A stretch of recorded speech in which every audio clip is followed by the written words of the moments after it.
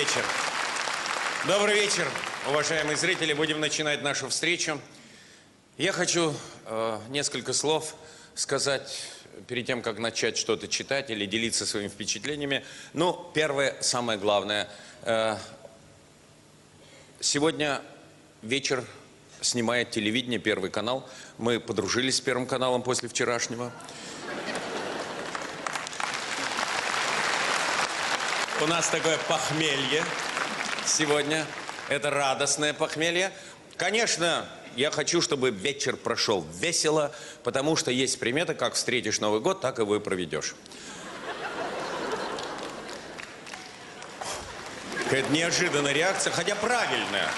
Знаете, вот мне нравится эта мудрость. Любая проблема может стать началом пути к успеху, если отнестись к ней с юмором. А значит, надо зарядиться достаточным запасом э, веселости на весь год. Я стоял там э, перед входом в театр. Ой, так интересно слушать, чего обо мне говорят. Я вам честно- Так ин- интересно, когда женщины тянут мужиков на концерт. Те упираются, как дети. Вот так вот. Потому что им пивка хочется выпить сейчас. Она говорит, ну пойдем, пойдем. Да кому этот козел нужен? Он говорит, про меня говорит. Я говорю, да козел. Он говорит, вот прав человек. Говорит, правильно. Он говорит, козел. он». Это сейчас я разговор, поговорил. Нормальный разговор был. Так что я зарядился веселостью уже. Э, Второе. Вот, самое главное, чуть не забыл. Друзья мои, убедительная просьба. Прошу, сосредоточьтесь. Я сейчас намекну вам. Ну, попробуйте понять то, что я скажу. Эту просьбу высказываю во всех залах. Бесполезно. Приходя на культурное мероприятие, а это культурное мероприятие, культурные люди отключают телефоны. Но есть толстолобики. Да. Которые не знают, что у них сейчас есть телефоны. Есть толстолобищи, которые не знают, как отключать телефоны. Женщины, вы не обижайтесь, потом я про вас хорошее скажу. Осенью был в одном театре, неподалеку от меня сидела женщина, у нее звонил телефон в сумочке. И, конечно, на нее начали шикать все, мол, выключите телефон. А она, собственно, растерялась, конечно. А он у нее в сумочке. Она берет сумочку вот так, сканирует сумочку. Мол, где ж он у меня там? Потом понимает, что надо же достать как-то. А у женщины в сумочке всегда то, что ей надо достать, на самом дне находится, как вы знаете. И она начинает вынимать все из сумочки. Люди уже на сцену не смотрят, потому что это просто фокус какой-то. Из маленькой сумочки так много всего появляется, только остается кролика за уши вот так вот вытащить. Она вытащила телефон, смотрит на него, а он звонит еще громче, потому что он уже не в сумочке. На нее еще громче начинают шикать. И она, молодец, вот я же говорил всегда о сообразительности наших людей, она наша. Она села на телефон. И действительно, правда, звонки стали глуше. Туловище такое звуконепробиваемое оказалось совершенно. Э, В начале каждого вечера своего я провожу разминку. Я это называю юмористическая шрапнель. По улице идет парень, говорит по телефону Nokia. К нему подходит другой. Слышь, братан, дай мобильник, позвонить надо. Тот посылает его, начинается драка. В нее ввязывается еще человек 15. Приезжает отряд ОМОНовцев и сбивает всех дубинками. Голос за кадром. Nokia connecting people. О, для разминки хорошо. Кто такие, на мой взгляд, оптимисты? Ну, такой философизм. Оптимисты – это те, кто, опаздывая на поезд, не расстраиваются, просто считают, что они пришли заранее на следующий. Посложнее, да. Тогда попроще.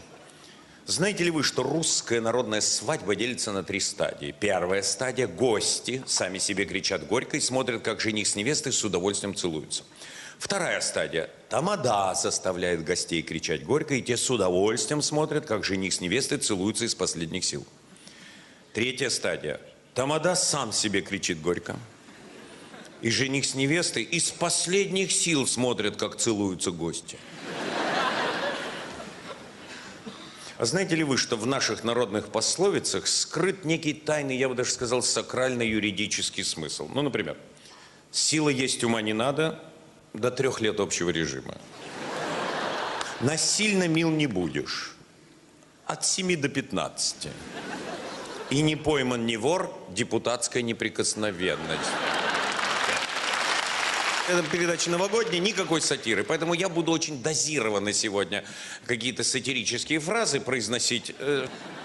В Российской Думе готовится к принятию новый закон по налогообложению.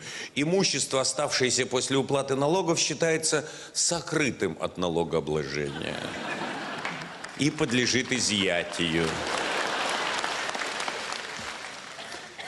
Но в связи с укреплением вертикали власти и с ужесточением визового режима со следующего года загранпаспорта будут выдаваться только под подписку о невыезде. Клянусь, чем больше я узнаю ФСБ, тем лучше я отношусь к ГАИ.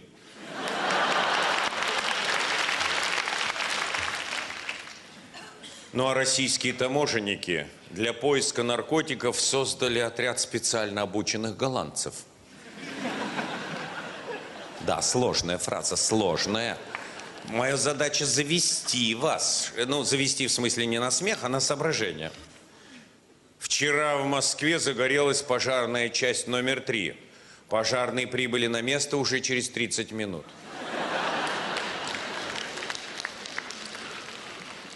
Еще сложнее. А знаете ли вы, что большинство прокуроров зарабатывает шитьем?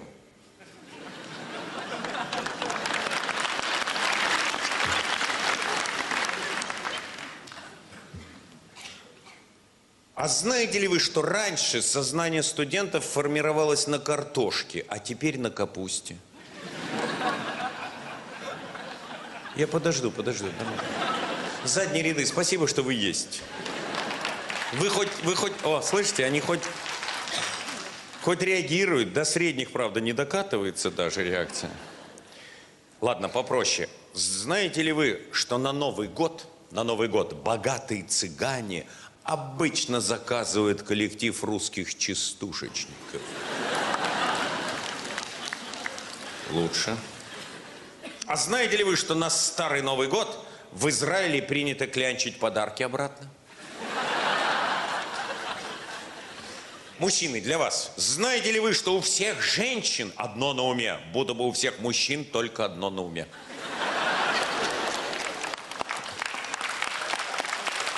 А знаете ли вы, что слабый пол сильнее сильного в силу слабости сильного пола к слабому? А какая техника речи, заметили? О, я такие сложные фразы произносить могу. Скороговорку современную, знаете, на дворе трава, на траве братва, братва в дрова. А знаете ли вы, что обещание, обещание – это дальний родственник кукиша?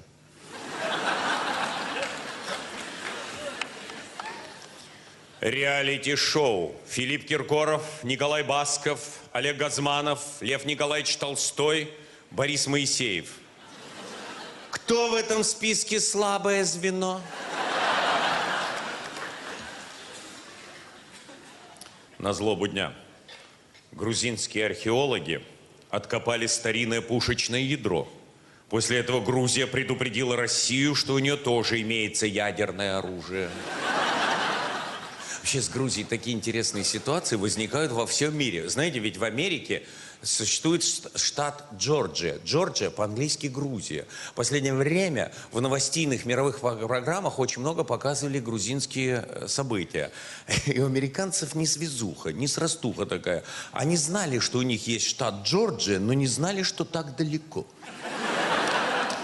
А у грузин сейчас так интересно, они все делают лишь бы не как в России – Окей, вау, говорят грузины, вау, это потрясающе. Такого темпераментного вау уже в мире не было никогда. А главное, празднуют все праздники. Американские праздники, это святое для них Хэллоуин. Ой, если в мандарине вырезать глаза и рот, получится грузинский Хэллоуин. Друзья мои, много будет по новостям таких таких передач, от которых расстраиваются люди с юмором, как я к этому надо относиться. Тогда легче. Пример. В Грузии отключили российские телеканалы, так как, по мнению Саакашвили, российские телеведущие через экран телевизора шпионили за грузинским народом. Но я без Америки не могу. Это было бы нечестно в отношении к тем, кто пришел на мой концерт. Знаете ли вы, что в Америке негры по-прежнему лидируют в беге, а белые в стрельбе? В любой стране мира я могу сказать эту фразу, и все будет нормально. Где-то поймут, где-то не поймут. Одна страна, где меня отдадут под суд, это Америка. Почему я сказал слово «негры»? Это такая забавная история. У них введена так называемая политкорректность. Вот слово «негр» считается не политкорректным, невежливым, оскорблением. Интересно, в Африке негров называют неграми, это ничего. А в Америке это оскорбление. Политкорректность сокращенно на нашем языке PC. Э, до того дошли, что теперь черный нельзя произносить в Америке. И это стало оскорблением. И они э, негров стали называть политкорректно, как им кажется, афроамериканец. А белых американцев евроамериканец. Да, ну туповато, конечно. Но такие забавные ситуации возникают с нашими. Например, повезли на выставку в Нью-Йорк нашу картину нашего замечательного художника Малевича «Черный квадрат». И американцы в недоумении. Говорят, это не политкорректно называть так картину. А наши ж с юмором говорят, да ради бога, назовите афроквадрат. Там это не имеет значения. То есть песня «Жил да был черный кот за углом» в Америке не может быть исполнена. Жил да был афрокот за углом. Вот да, такая, такое лицемерие. Бомбить Ирак нормально, а произносить слово «черный» ненормально. Но и это еще не самое парадоксальное. Белоснежку, диснеевскую мультяшку запретили показывать по всем американским телеканалам. Никто из вас, даже из самых образованных, не догадается, почему. Все гномы белые. Не политкорректно. Они сейчас переснимают Белоснежку. Нормально, да? Один гном будет мексиканец, два пуэрториканца. А я им советую Белоснежку сделать негритянкой. Вот это гениальное прочтение Белоснежки будет. Я раньше очень любил американские фильмы в конце 80-х годов. Сейчас, как только попадаю на американскую стрелялку с догонялками, я тут же переключаю. Я не могу слышать эти диалоги. Стреляя в него, я не могу выстрелить в живого человека. Что ты предлагаешь? Давай его сначала прикончим. Ой, я забыл вам сказать, Черномырдин собирается в Америку. Черномырдин. Я ему послал по электронной почте имейл. Не политкорректная фамилия. Афромырдин должен быть. Ну, ну что, красиво, согласитесь. Вчера в США вырвалось корнями деревья, повалило рекламные щиты, столбы линий электропередач. Уже давно с таким размахом русские мигранты не отмечали День десантника.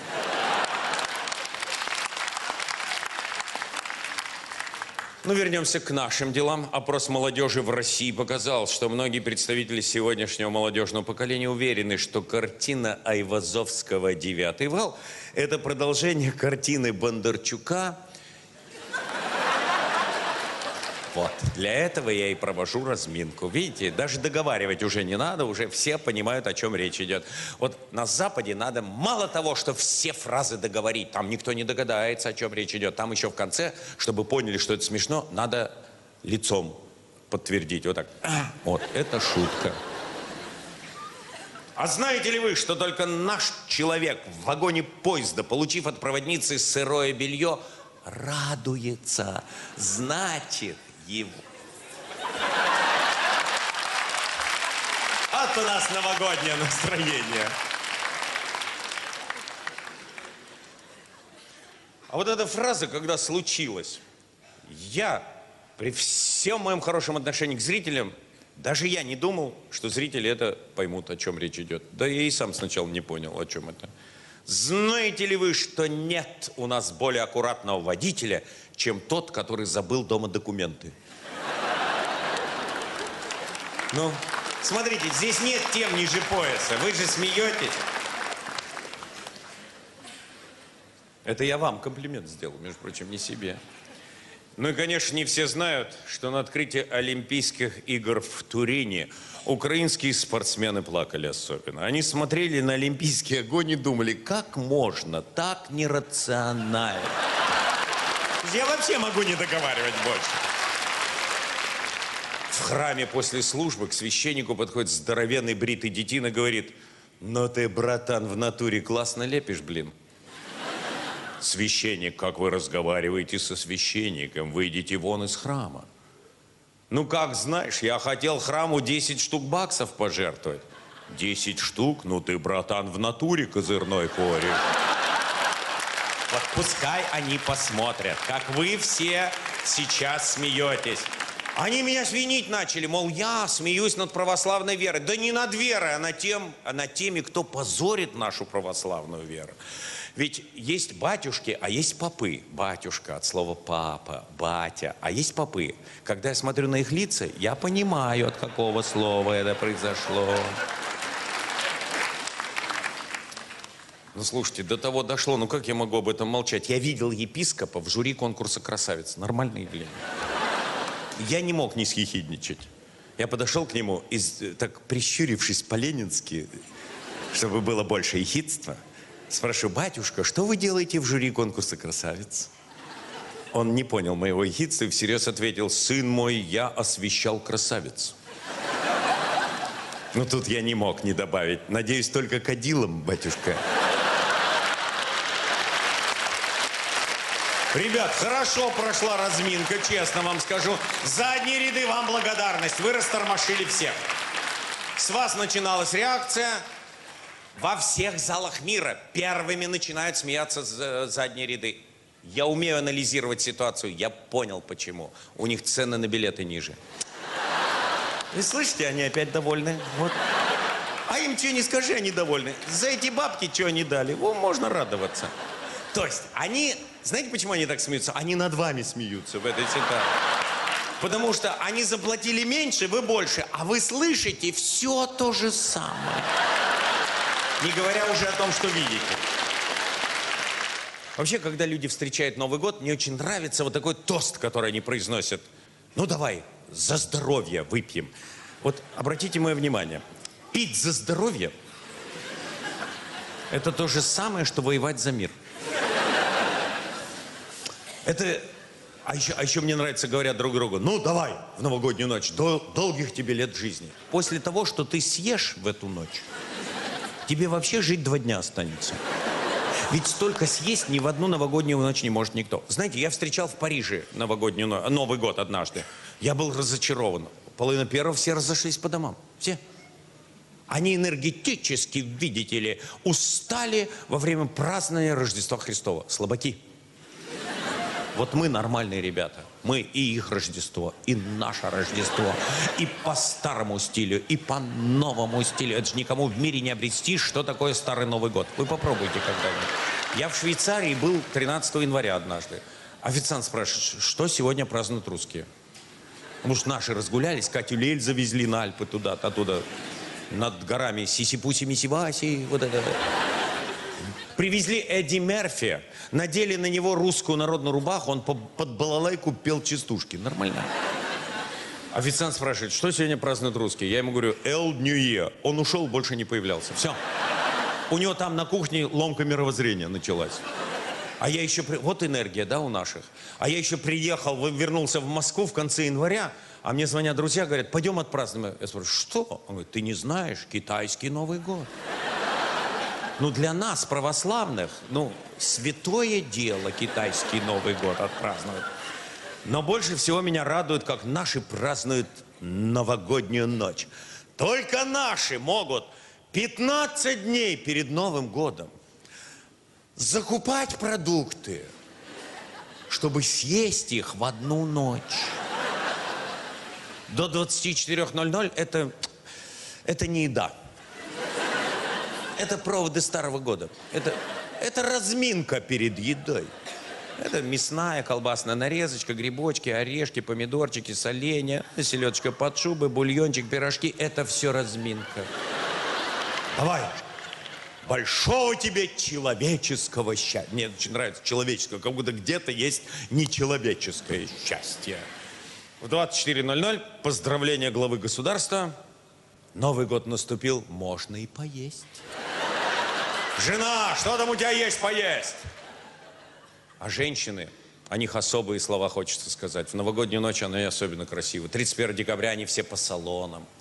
С утра ноготки, как у любовниц Дракулы. Вот такие. Это не руки, это виллы. Это...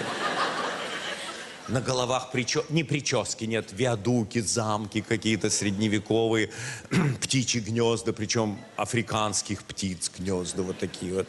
Они очень красивые, наши женщины, 31 декабря до часу ночи. В час ночи? На это лучше не смотреть. Это уже где-то опало, здесь э, гнездо разрушилось, тут отклеилось. Я встречал в компании поп-звезд однажды. Пришла поп-звезда, такая красавица. В два часа ночи баба Яга передо мной сидит. У нее, а к трем часам ночи у нее груди упали об стол. Я не знаю, может, на пластыре были приклеены. Э, вспотела грудь, обвалилась это все. А еще ночью устают ноги у наших женщин, и они, они, будучи в платьях длинных, надевают эти убитые хозяевами тапочки с подмятыми задниками. Еще дед на зоне подмял эти задники. В длинных вечерних платьях и в домашних тапочках это балерины в калошах вообще. Но волнуются. Вот это очень трогательно. Полночи наши женщины волнуются, они вот так делают руками, говорят, ой, право не знаю, холодец застынет или нет. В два часа ночи мужик орет, что там с холодцом? Жрать охота! Ему еще жрать охота. Появляется эта целлюлитная жижица с недобритым копытцем поросячьим. Кусочки кожи с волосиками свинячьи. И мужик, жуя холодец, говорит, а Наполеон будет? Мужики обожают бороться с Наполеоном. Ну, в силу некоторой ностальгии по нашей мощи державной нашего Отечества. Не съест, так понадкусывает. Но самая такая картинка, которая мне еще больше нравится, это 6 утра. Мужик смотрит на недоеденное на столе. А там, там голова гуся в бабочке, вот осталось все. Салат остался недоеденным, но его трогать нельзя, там спит гость. А, а, а мужик, э, он, он уже не раз застегивал рубашку за эту ночь. У него пуговица вот этой стороны на дырочку вот этой стороны. А вот это из ширинки, вот это вот. вот. А есть примета, как встретил Новый год так его и проведешь. И он смотрит на это все и говорит, ну завтра хоть позавтракаю, нормально. Но больше всего мне нравился лозунг, который висел в Новосибирске над улицей в, прошлый, нов... Э, в прошлом году. С Новым годом, запятая, собаки. Я уже говорил, меня считают писателем-сатириком, это неправильно. Я нашел себе... Мне все время хотелось, чтобы у меня была какая-то необычная профессия. я в интернете покопался, нашел профессию, которая мне очень подходит. Она есть только у русских полярников в Антарктиде. Называется «подниматель пингвинов». Ну, там живут пингвины вокруг наших поселков. Пингвины не могут понять, что там делается наверху. И каждый раз провожают глазами самолет. Вот так, вот ё-моё, и падают. Вот так. А встать сами не могут. Тогда выезжает человек на место и поднимает пингвинов. Для этого много не надо. Надо быть оптимистом, как я. Что такое оптимист у нас? Это когда человек, приходя даже на кладбище, вместо крестов видит плюсы. Я желаю вам большого человеческого счастья и хорошо позавтракать после Нового года. Мне недавно попались на глаза стихи молодого человека. Он находится в зале. Я его сейчас вы представлять не буду. А, потом, после того, как прочитаю некоторые его двустишья, четверостишья. Но стихи были лирические. Я вообще люблю поэзию лирическую, но я же ее читать со сцены не могу. И я его спросил, есть ли юмористические стихи. Он сказал да и прислал мне 1400 стихов. То есть приговорил меня просто. Я их прочитал, выбрал выбрал цензурные. И я хочу ими с вами поделиться, дабы вы все знали, что у нас есть очень талантливые люди. Но что особенно мне приятно, он, он не такой вот э, человек, который вот в бедности живет, пишет стихи. Наоборот, среди небедных людей стали появляться люди, желающие самовыражаться. а не самоутверждаться. Он работает, ну, мягко говоря, в финансовой сфере. Короче, сидит в банке и пишет стихи.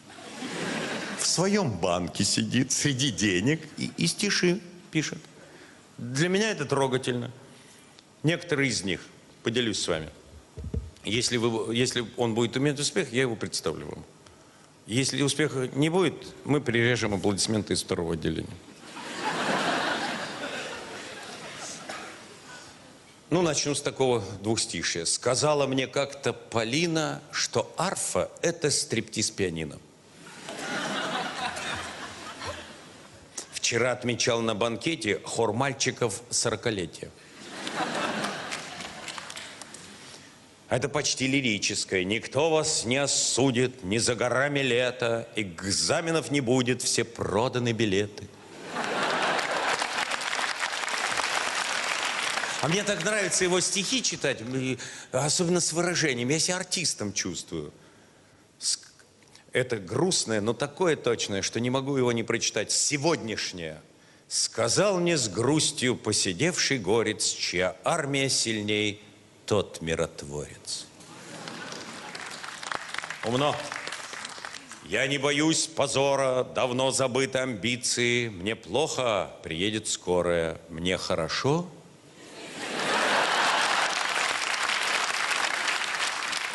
Это опять философское, я так буду чередовать. Походкой иду не твердой, от мыслей в душе противно. Человек звучит очень гордо, обезьяна звучит перспективно. Стою и пальцем тру висок, и ухо, и затылок. Забор в России из досок, а мебель... Слушайте, замечательно, вам действительно не надо ничего договаривать.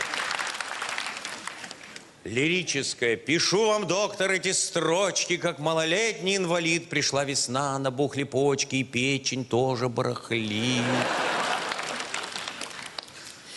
Ну, вот это двустишье, а, оно мне почему нравится, потому что я-то пожил жизнь, я знаю, что это правильно. Откуда он знает, молодой человек, не знаю, но это точно. Закон сей действует на нервы, храпящий засыпает первым. Любовь превратила меня в теоретика. Лапша на ушах – это тоже косметика. Нижайше я прошу тебя, малышка, закрой окно. Да нет, не надо мышкой.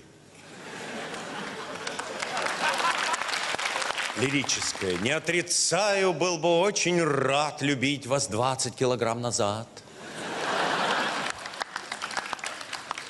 Ой любимая. Вот что не стих, то про меня. До свадьбы я любил всех женщин, сейчас люблю одной меньше. Ты тупее, чем мой пес Шарпей. Не можешь прокормить жену? Пропей. Я ждал, что снесет мне башню от пьянки с утра до вечера. Она была очень страшной но пить уже было... А это просто мне посвящено. Я же заканчивал Московский авиационный институт. Я 14 лет учился в институте. Поэтому много знаю. Ну, я вовремя ушел из авиации. В общем, можете летать после этого, после моего ухода. Вот это точно посвящено мне. Тебя я прошу, современный кар.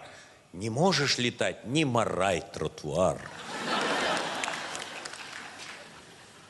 Подкову на счастье нашел у корыта. Не радуйся, кто-то отбросил копыта.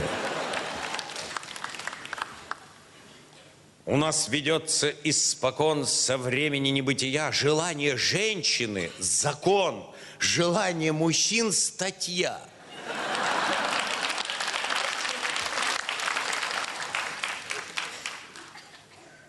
Ну, это про нашу жизнь очень точно. Немцы, японцы, не шибко там – к вам обращаю свой стих. Поаккуратней с машинами, нам еще ездить на них.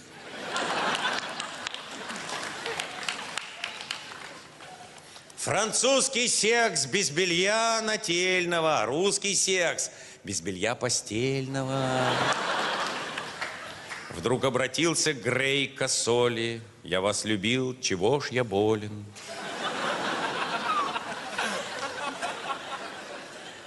Скажи-ка, дядя, ведь недаром в кустах ты прячешься с радаром. Еще одна моя наилюбимейшая. Пошла она за ним на Колыму, испортив этим каторгу ему. А это просто эквилибристика поэтическая. Прячась от холода, Винни пух с голода.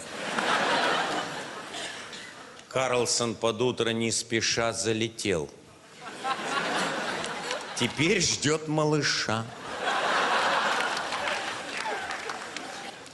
Помню, мама заплела в косу мне цветочек, волочился по земле глиняный горшочек.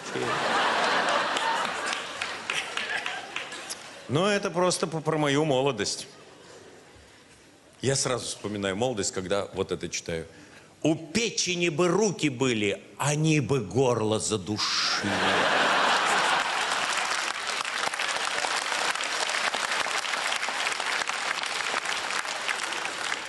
Часто впадаю в экстаз и вспоминаю снова, как мама вела в первый класс, как папа нес выпускного. Ну, а заканчивать надо философско-лирическим четверостишьем. К Новому году это подходит. Я люблю тебе жизнь, что само по себе и не ново. Я люблю тебе жизнь, только ты меня снова и снова. Андрей Алякин. Прошу вас, молодой человек. Андрей, будьте добры. Еще раз. Видите, вам девушка аплодирует, практически можете кредит выдать.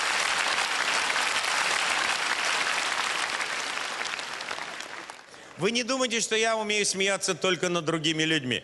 Я вам должен сказать, что я сам был не раз лохом в жизни. Я думаю, что высшая степень чувства юмора, когда умеешь посмеяться над собой. Конец 80-х годов. Наши люди еще не ездили за границу.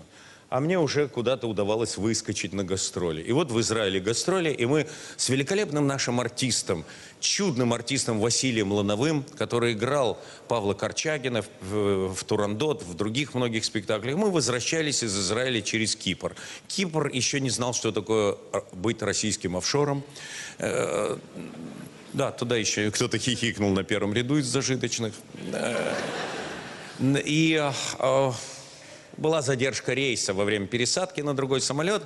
И мы с Василием решили поехать на берег моря, посмотреть, как Кипр, ну, мы же это ничего не видели, э, поесть где-нибудь в уютном местечке. Мы зашли, как нам показалось, в хорошее кафе. Э, Ну, это вообще было самообслуживание, но нам оно, советским людям, показалось хорошим. И мы так идем, столько блюд, мы никогда этого не видели. И- и он говорит, я не знаю этого ничего, я не понимаю. Давай возьмем по-нашенски яичницу. И мы берем, а я говорю, что-то зеленая какая-то яичница. А он говорит, да у киприотов нормальная. Ну, у них же вон мухами не засижено, нормально. Давай. И мы взяли яичницу. К нам подбежали три уборщицы киприотки и хохотать над нами. И показывают на глаза вот так вот. И говорят, тулук, тулук. Мы взяли муляж яичницы. Из папье-маше, которая вот это, чтобы вы... Тулук, тулук, смотреть. А мы даже не поняли, что она говорит, Василий. Она ему говорит, тулук, тулук. Он говорит, да, глазунью. Мы до сих пор, когда видим друг друга с Василием, мы тут же хохотать начинаем вместе, вместо «здрасте». Это теперь я такой э, сатирик такой, знаете, беспощадный. А было время, я ведь другим был. Меня взяли когда-то на гастроли в Баку Арканов, Смолин и Измайлов. Почему они взяли меня? Потому что в то время нельзя было выезжать на гастроли, если нет никого из русских в группе. Молодцы, понимаете, вот такое время было. И вот 80-й год мы поехали на гастроли в Баку. Мои первые гастроли. У меня было всего 15 минут для выступления, три номера, один из которых был очень неожиданный, очень нравился залу. В то время не было слова «пр- «прикол», а я любил прикалываться со сцены уже. Может быть, в этом и был мой плюс. А номер был такой. Это была пародия на «Спокойной ночи, малыши». Но в то время страшилок не было еще по телевидению. Фильмов ужасов не было. Поэтому эта пародия была очень страшной для зрителей. Там такой автор детской сказочки Кошмар Иваныч рассказывал сказочку. Он говорил, однажды темной ночечкой умерла тетенька. Дорогие мои детишечки, у этой тетеньки была золотая ручечка. И вот однажды один дяденька решил выкрасть у нее ручечку. И вот глухой, темной осенней ночечкой, дорогие мои детишечки, этот дяденька пошел к этой тетеньке на могилочку и начал копать. Долго-долго копал он, пока его лопаточка, дорогие мои детишечки, не стукнулась о крышечку гробика. Но тут дяденька почувствовал, что на него кто-то смотрит. Он обернулся и увидел, сзади стояла тетенька. Но у нее была всего одна ручечка. А где твоя вторая ручечка, спросил дяденька. А вот она! Закричала тетенька. Это вы привыкли к страшилкам сегодня. А представляете, что было тогда? О, люди головами друг об друга бились. Однажды я имел необычайный успех. Двух женщин вынесли из зала. Они ударились друг об друга. Народ был счастлив, что кому-то плохо его унесли. Ходили на наши концерты, такие аншлаги были, по три аншлага в день. И вдруг нам сообщают, что приедет первый секретарь ЦК КПСС Азербайджана на наш концерт, Алиев. Он уже тогда был главным. Приехала охрана, слова security не было. Все отцепило, все проверило. За кулисами, из-за кулис на сцену по паспорту пропускают по прописке московской. Ко мне подходит Арканов. Арканов, вы знаете, в глазах грусть всего еврейского народа за все столетия. И говорит, нет, ты осторожней с ручечкой. Я говорю, почему? Он говорит, Алиев на первом ряду будет сидеть. Я говорю, что? А ты вот так вот раз ручечку, и тебя застрелят. Клянусь, я испугался, я вам честно скажу. А другого номера у меня нет. Я говорю, что делать, Аркан? Пойди к охране и расскажи им про ручечку. Я никогда этого не забуду. Я за кулисы пой- поймал охрану. Вы, вы шкафы с антресолями видели когда-нибудь? Это вот охранники. Антресоли – это челюсти у них. Я главному охраннику говорю, у меня номер один есть, я не знаю, как мне прочитать его, можно или нет. Тот говорит, цензура пропустила? Я говорю, да, вот читай, не наше дело. Я говорю, вы не поняли, это к вам имеет отношение. Он говорит, в каком смысле? Я говорю, ну послушайте. Он говорит, всех собрать? Я говорю, всех. Они выстроились за кулисами передо мной свиньей, вот так вот эти шкафы. И я с максимально возможным выражением, на которое я способен, тетенька, пугаю, вращать глаза.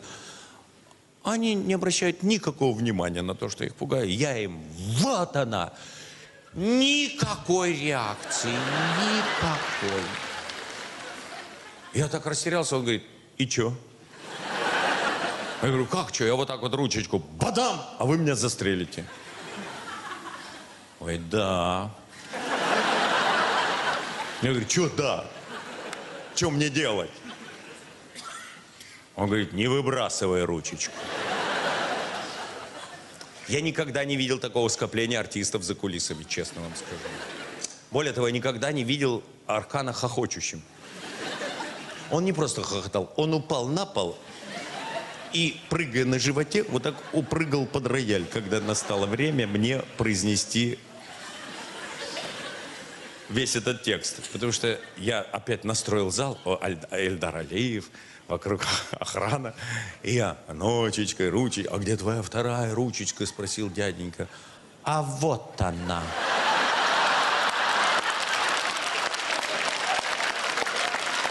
Я считаю вообще неверно утверждение, что надежда умирает последней. Я считаю, последним умирает чувство юмора.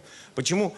Почему наши люди любят ко многому относиться с юмором? Потому что когда смешно, тогда не страшно. А В доказательство этой моей мысли я получил довольно много писем от телезрителей. Вот мужик, пишет мне одна женщина, зашел в метро, она ехала в метро и говорит, предлагаю вашему вниманию психологический триллер всего за 30 рублей «Жилищный кодекс Российской Федерации».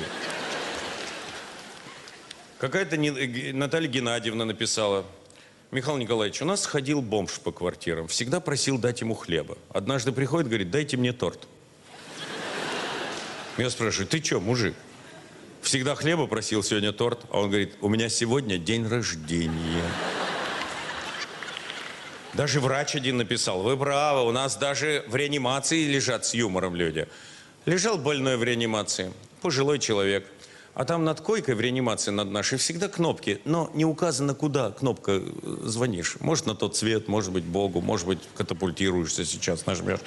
Он не выдержал, решил приколоться, и хорошо прикололся. Приклеил под кнопкой кусок пластыря, на нем написал «Морг». И радовался. Он-то радовался. А когда другого принесли на это место, тому как-то не очень радостно стало. Еще одна женщина написала, представляете, у здания стоит толпа, все смотрят вверх. На краю крыши стоит человек. Непонятно, то ли прыгать собирается, то ли нет. И одна женщина говорит, боже, если он сейчас не прыгнет, я опоздаю на автобус. Но больше всего, по-моему, чувство юмора, знаете, у кого развито? У, у водителей маршрутных такси. Водитель написал в маршрутке, зайцы бывают белые, зайцы бывают серые, а вы какого цвета? Пассажир без билета? Кто-то внизу приписал коряво, я шоколадный зая. Женщина написала, гаи- у гаишников стало проявляться чувство юмора. Гаишник молодой остановил ее, говорит, ты что, пристегнулась, пьяная, что ли?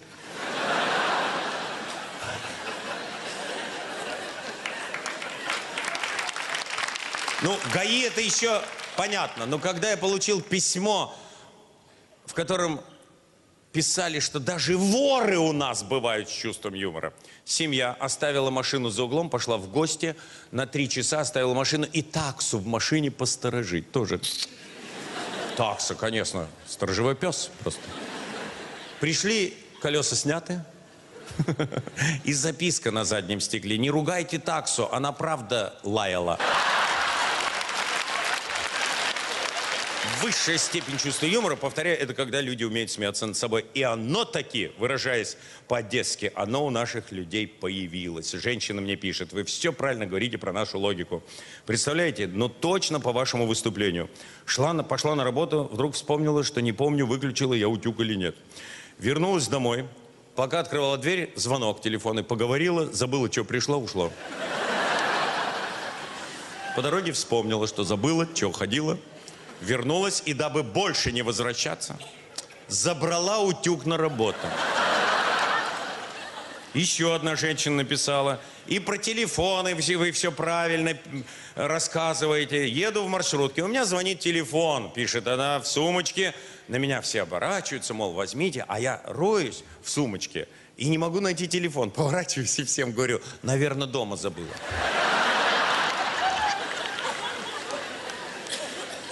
Два джипа в Хабаровске, вот это из серии только у нас.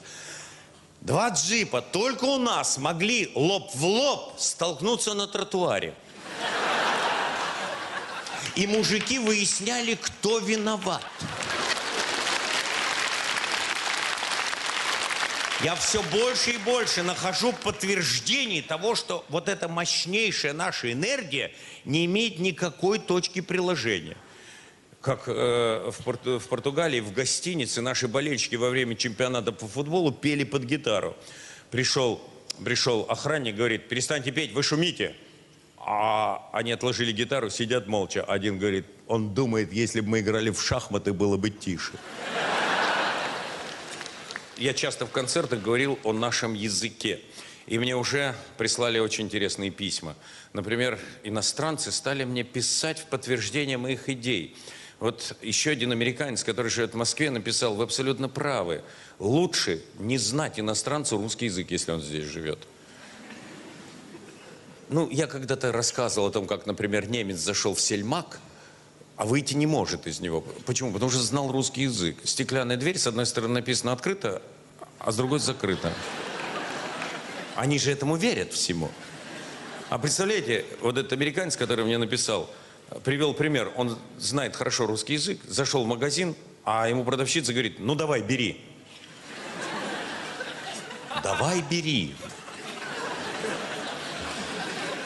Он ей говорит, повторите, я не понял, что делать надо. Она говорит, давай бери. Он заостряет внимание, давать или брать? Он говорит, давай бери и вали отсюда. Но шутки шутками, но уже появились ученые, которые вообще доказывают, что действительно все языки мира произошли от нашего языка. Более того, я получил еще одно письмо от одного иностранца, и он пишет, вы совершенно верны, в вашем языке Например, органы, как он это заметил? Все-таки среди иностранцев есть очень умные люди. Вы знаете, я должен признать, как это мне неприятно. Но есть очень умные люди. И он мне написал дивное письмо. Я думаю, что ему надо дать премию какую-то нашу российскую. Он пишет, что он знает много языков. И он такое наблюдение замечательно сделал. А, вот, например, он говорит, что вы говорите русский «я», а мы говорим «ай». «Ай» — это обратное чтение «я». И он в бане понял, какая разница. В бане, когда все голыми были. Русские говорят «я» и показывают рукой от себя.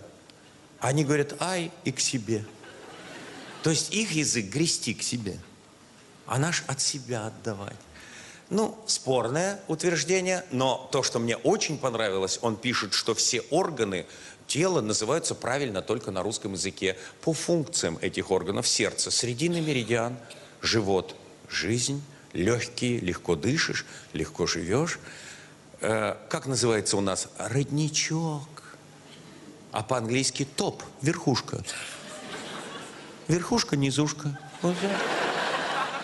И так со всеми органами. Только у нас, у нас действительно слова имеют смысл. Как медведь по-английски. Б, бурый на древнем английском языке. То есть внешний признак, а у нас медведь. Не в смысле, что ведает медом, он не за складом, а ведущий, что делать с медом. В нашем языке есть вот такие... А печень? Многие же сегодня э, в зале э, с медицинским образованием, ведь не знать, откуда слово печень. От слова печь. Оказывается, печень горячее всех других органов на 2 градуса. Она разогревает организм, кровь разогревает. А, у, а в английском как печень? Liver. Колбасу делать. То есть братаны практичные очень. Я все-таки привью интерес к нашему языку. Обязательно. Мне говорят, а почему вы считаете, что вот это все, все языки произошли от, наш, от языка наших предков, а не наоборот? Да потому что у них на один корень одно слово, а у нас ветви слов. Например, три по-английски, three, где-то тре, везде корень наш. Ну и все. А у нас какое слово есть? Смотрите, настроение. Нас трое. Не-не-не, не в том смысле, друзья мои, нет, нет, нет. В смысле Святая Троица. А расстроиться – это перестать чувствовать Святую Троицу. Конечно, им трудно учить наш язык. И э, американец, мне снова мой знакомый задал вопрос. Объясни разницу между «ладно» и «ну ладно». Вот, а, вам уже смешно, а мне-то объяснять ему надо было. А вы попробуйте эту разницу объяснить. Их язык для передачи информации, он точнее нашего передает информацию, а наш для выражения обуревающих чувств нас. Ладно, ну ладно, от интонации зависит. Я ему говорю, ладно, это да. Он говорит, а ну ладно, каким я себя придурком почувствовал, когда я ему объяснял, что такое ну ладно. Я говорю, ну ладно, это не совсем да. Но я добился своего. Наши люди начали над ними наконец-то смеяться. Мой знакомый вез американцев по э, дороге из Шереметьево и превышал скорость. А у них язык точный и мышление точное. Написано 100 километров в час. А он идет 120. Они уже смотрят на него с подозрением. А еще их обгоняют джипы, как будто они вообще на месте стоят. Но у нас язык эмоциональный и жизнь эмоциональная. Вообще никто не смотрит на эти знаки. А американцы смотрят. Они спрашивают у водителя, для кого эти знаки? Готовы? Готовы? Он говорит, 100 километров для велосипедистов.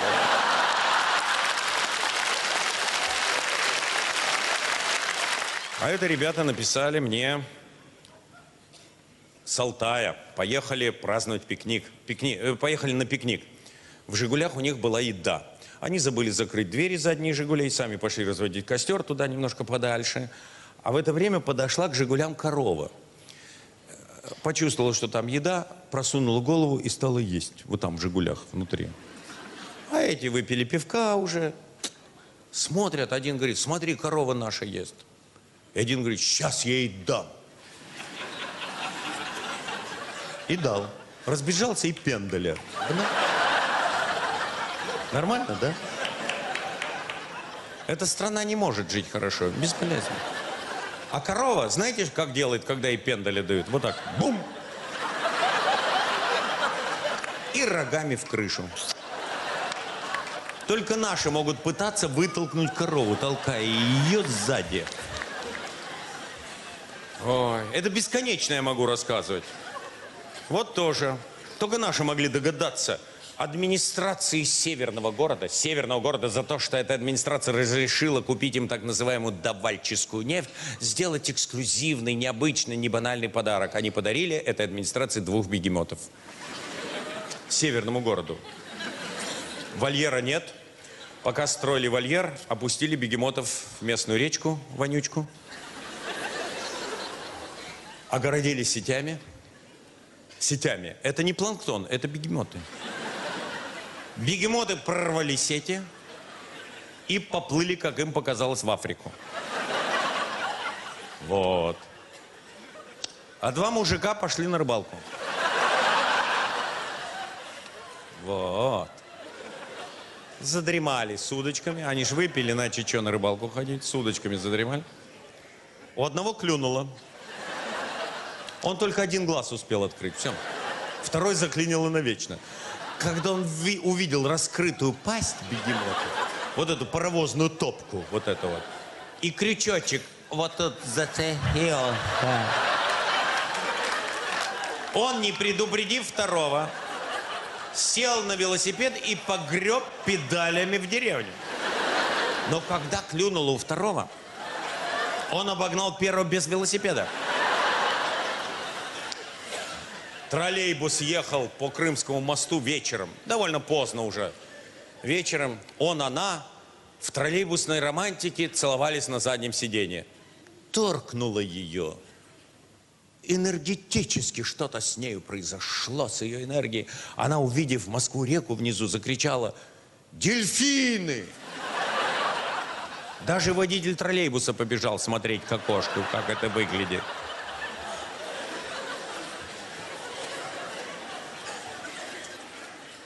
А мужик решил поехать на каток. Думает, что я там коньки надевать буду? Я в коньках поеду. Ну, все, бы было ничего, но он за рулем был. А так нормально. Промахнулся мимо тормоза. Дорожно-транспортное происшествие.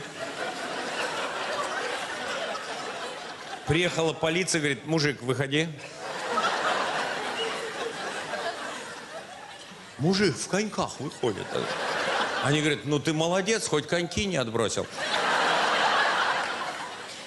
А три мужика курили в окошко на третьем этаже. В общежитии дело было. Курят и курят. Вот бельгиец, голландец, американец. Ну, курит и курят. Пытливость ума не та.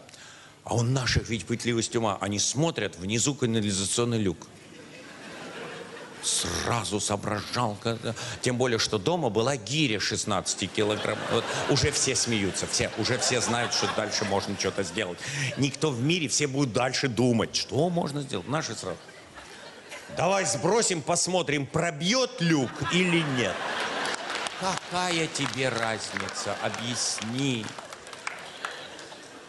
Вот эту бы энергию на пользу Родине. Не. Бросили, не попали. Пошли за гирей.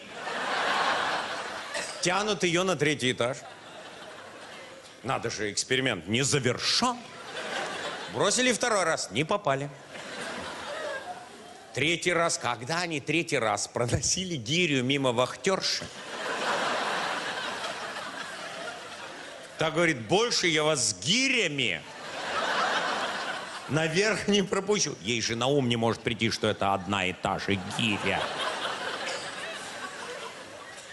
Ребята думают, да, гиря не наша, ее возвращать придется, а эксперимент не завершен.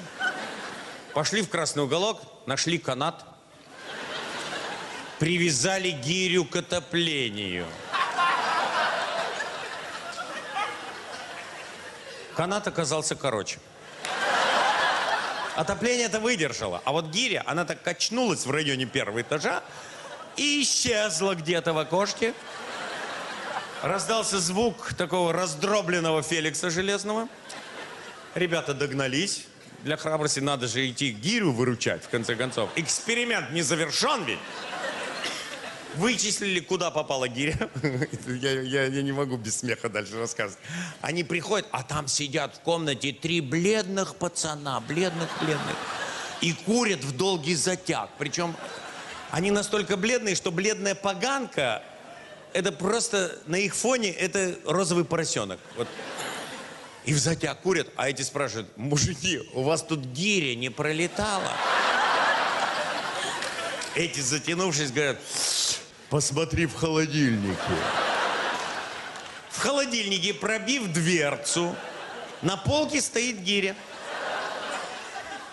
А один вообще, у у него такая, у него Паркинсон на всем организме, и он не разговаривает вообще. Эти спрашивают, он что, глухонемой? А эти говорят, нет, он пять минут назад койку переставил с этого места. А недавно со мной произошла история, она просто знаковая, она связана с телевидением, поэтому я хочу именно на телевидении и рассказать эту историю. Я приехал на монтаж телевизионной передачи как раз на Первый канал. И там опять-таки охрана не пускает машин, довольно грубо моему водителю говорит, все, уезжайте. Я выхожу из машины, говорю водителю, не, не надо, не обижайтесь на них, езжайте. Все, выхожу, они меня узнают. Охранники говорят, о, это вы, извините, что мы так вот с вами. Э, Понимаете, мы маленькие люди, мы никто, от нас ничего не зависит, нам сказали. Я говорю, ради бога, ничего. Пошел на монтаж передачи, сидит редактор, который уже отмонти- э, отмонтировал там половину передачи. Я спрашиваю, почему э, выбросили вот какие-то шутки, репризы? А он мне говорит, я никто, э, от меня ничего не зависит. Позвони главному. Я позвонил главному. Почему выбросили шутку? Он говорит, от меня ничего не зависит, я никто. Позвоните генеральному. Я позвонил. Он говорит, ну, вы ты же понимаешь, что я ничего не могу сделать, от меня ничего не зависит. Я звонил туда, наверх, туда. Мне сказали, нам свыше сказали, мы никто, мы ничего не можем сделать. И я говорю, давай попьем чаю расстроенный. И пошел в туалет мыть руки. Меня провожает редактор. А туалет закрыт, по-нашенски закрыт. Дверь сорвана с петель, и стоит стул, на нем написано «закрыто». И там уборщица убирает в позе уборщицы. И, и редактор говорит, откройте для Задорнова хотя бы. Я говорю, ну не смей меня позорить. Еще скажи, что для Задорнова, который живет в одном доме с Ельциным. Я благодарен уборщице, которая сказала следующее. Ельцин, Задорнов, мне все пофигу. Я человек независимый.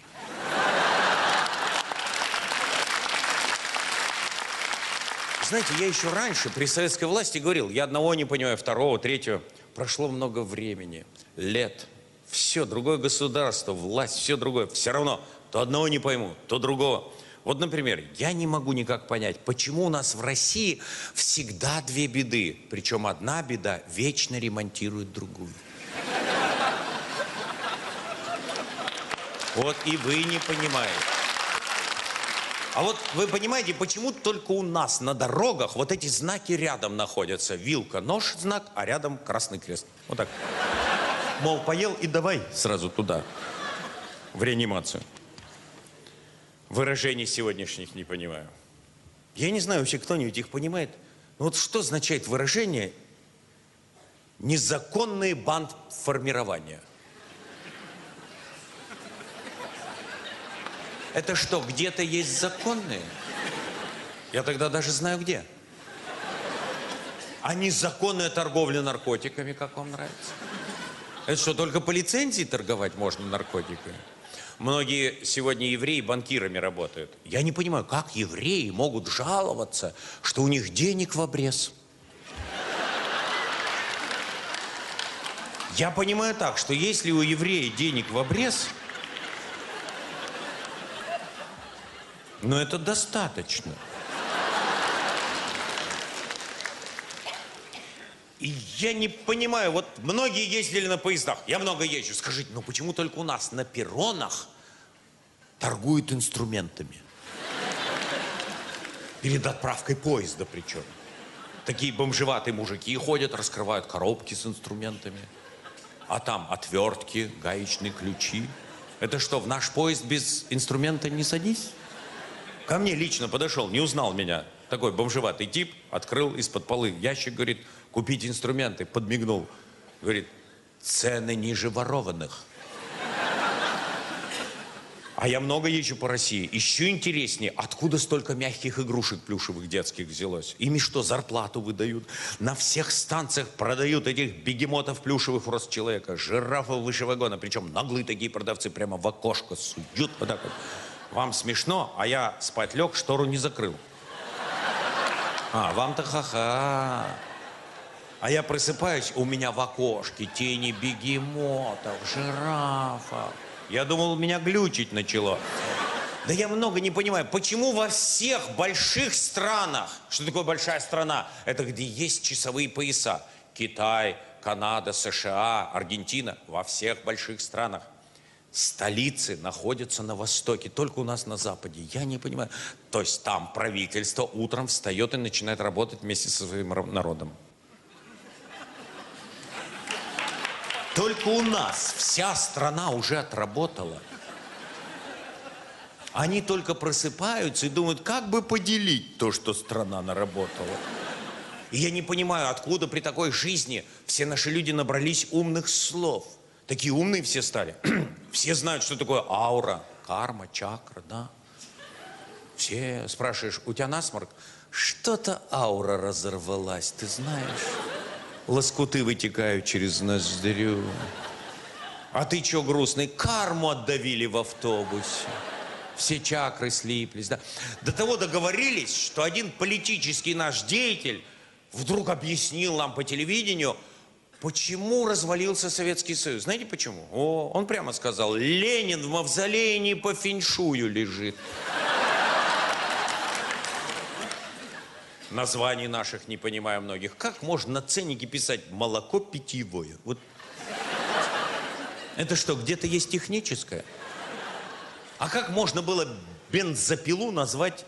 Это как надо было разочароваться в людях, чтобы бензопилу назвать дружба? Название телепередач не понимаю. С утра начинается – в Ираке напали. В Москве обворовали, в Чечне взорвали. Там сгорело, тут утонули. Вы смотрите передачу «Доброе утро». Ну, о рекламах я вообще не говорю. Я думаю, что их вообще никто не понимает. Человеческим голосом, человеческим, объявляют, корм для собак стал еще вкуснее. Э, я не понимаю, ты сам пробовал или тебе собака рассказала? Я вообще думаю, что когда я смотрю рекламу, знаете, я не понимаю, это что, наркоту рекламируют все время? Ну, точняк, это скрытая реклама наркоты. Мужик съел йогурт, выбежал во двор, орет, да не ему. Ну, торкнула пацана, согласитесь? Но йогурт, точняк с дурбазолом каким-то. Вот эти, которые сначала йогурт не съели, у них монстры перед глазами. Ну, то есть ломота конкретная. Пару кубиков Данисима вонзили, ништяк, все, монстры пропали, ломота ушла. Везде наркота. Без мизима у бабуси ломка. Мизим съела и в пляс. Конфетки, бараночки. А этот, который еще не сникерснул, ну, ломота, погрыз, скамейки, телеграфные столбы, половину гаража откустил. Детская наркота, что ли, появилась? Я не пойму. Съел растишку, появляется динозавр Дино. Это что, глючить детей начинает? А молоко вообще так и называется веселый молочник. От него на хихи пробивает. А эту рекламу как понять? Рич. Жизнь хороша, как ни крути. О, скрытая реклама косячков. В кошачий корм и то добавлять начали. Экстази, что ли, не знаю. Вон, кот Борис, видали? На китикетице и мордой в клубок попасть не может. Но больше всех, я не понимаю, вонзили дури, по-моему, те, кто составляет рекламу. Правда, ну что, Тифаль думает о вас. Сковородка думает о вас. Как это возможно? И главное, всех глючит. Я не понимаю, всех что глючит? Люди пьют банаку, в метро рыбы плывут у них. От воздушного творожка корова на батуте прыгает. Бобер чистит зубы. Звери по лесам торкнутые все бегают, орут. Волк жует траву. Волчара вообще на травку подсел. А Ленор, Ленор понюхал, пошла пруха с тряпками обниматься. Я только одну рекламу понимаю, вот эту. Суперклей момент. Оторваться невозможно.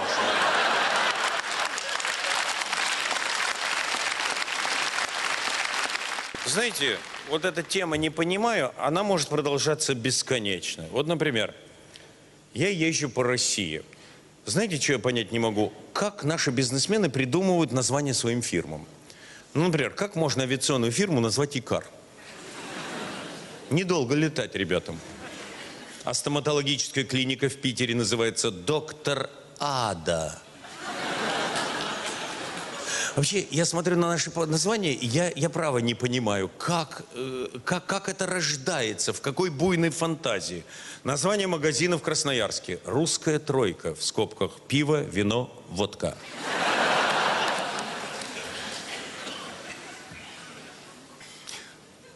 Искусством рекламы овладело даже старшее поколение. Такая старушенца сидит на рынке в Киеве. Ну, такая времен революции старушенца, причем, причем французской. Э, причем первой французской.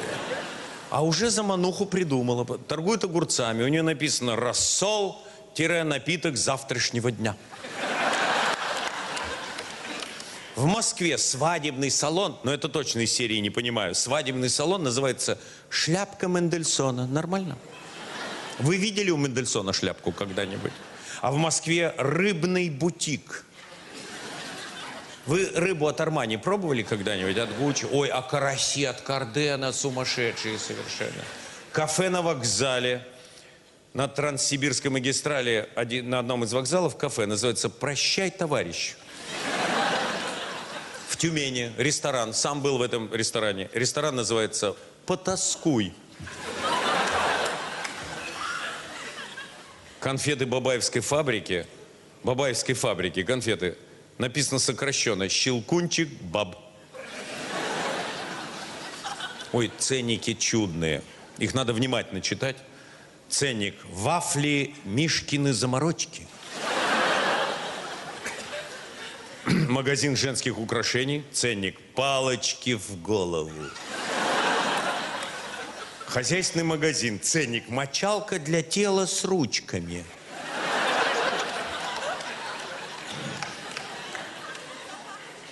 Меховой магазин. Шуба с капюшоном до колена. Нормально? В детском мире. Детская игрушка. Ой пень музыкальный с дуплом. Другой детский мир. Детская ванночка с центрифугой. Семейная детская игра. Как тебя зовут, чудище? Развивающая семейная игра. Чей ты малыш? А еще довольно много открылось детских кафе. Там такие интересные блюда. Ну, вообще, я уже говорил э, как-то по телевидению, по-моему, даже в, э, в предыдущей передаче, что наши придумывают блюда с особой фантазией, с особым творчеством. Там те же американцы пишут просто, там стейк, кусок мяса. Для наших это не замануха. Они напишут ляжка молодой жены барана. Там... Ой, на Украине написали биточки, рубленые по-буденовски. Нормально? Я им говорю, еще борщ первый украинский, добавьте туда. Закуска прыг в рот.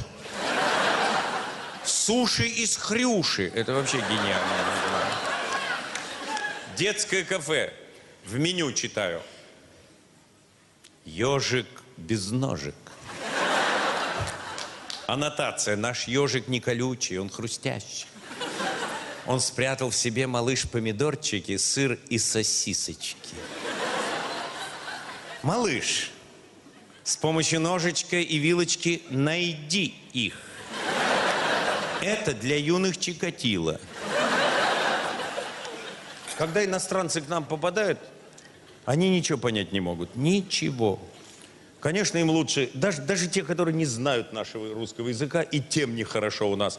В Хабаровске недавно были гастроли, за кулисы пришла японка, она была с балетом японским, и спрашивает, можно позвонить из-за кулис по телефону? И говорят, пожалуйста, вот телефон. А телефон вот этот с диском крутить еще. Она через пять минут говорит, у вас телефон не работает, почините. Готова? Она нажимала на дырочки.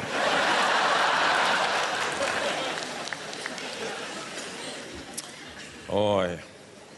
А я ехал из Хабаровска во Владивосток месяц назад в поезде. Японец выскочил из туалета и по-английски кричит, я сломал туалет, я сломал туалет. Точно готово? Он нажал на педаль и увидел рельсы.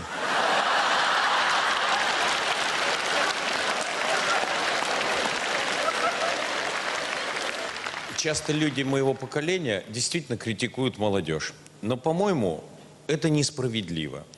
А, Вот обратите внимание, даже молодежные наши передачи, сравните их с западными передачами. Вот команда знатоков, например. Вы представляете, чтобы наша команда знатоков встретилась со знатоками-американцами? Нигде в мире нет такой команды, которая за 10 секунд может выдать название пристани на реке Жмуть. Я, я иногда восхищаюсь нашими молодыми людьми. Я уже не говорю о том, задумывались ли э, люди старшего поколения о том, что только на русском языке в мире существует КВН. Его нет больше нигде, значит, такое количество молодых людей только у нас. Вы знаете, я должен сказать хорошие добрые слова в адрес Александра Маслякова. Он молодец. Он просто собрал некую такую организацию, которая заменяет практически комсомол сегодня. Я хочу пригласить на сцену опять-таки, чтобы не быть голословным, молодого человека. Он пришел сюда из КВН. Многие из вас его видели на сцене во время игры команды Владивостока. Это капитан команды КВН Владивостока Александр Мадич. Пожалуйста, Саша.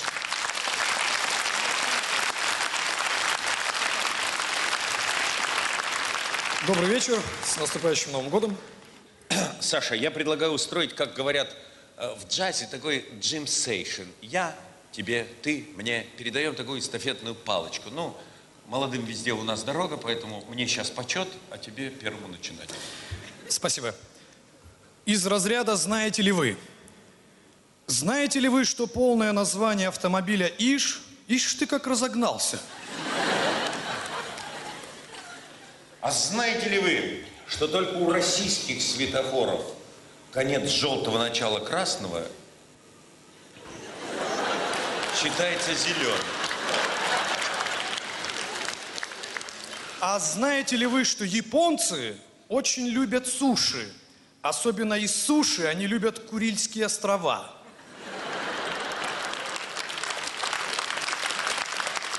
А знаете ли вы, что Сталин, Сталин очень не любил, когда ему звонили на трубку?